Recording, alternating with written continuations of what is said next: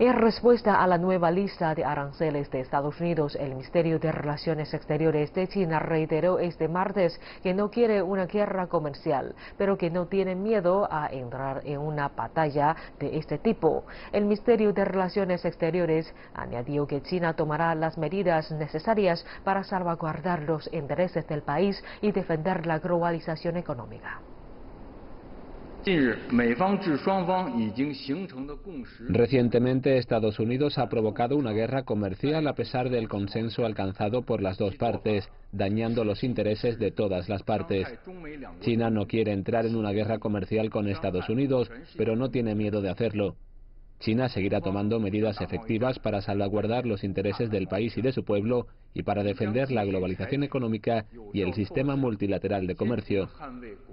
China aconseja a Estados Unidos que sea racional y que detenga las acciones que dañan a otros y a sí mismo.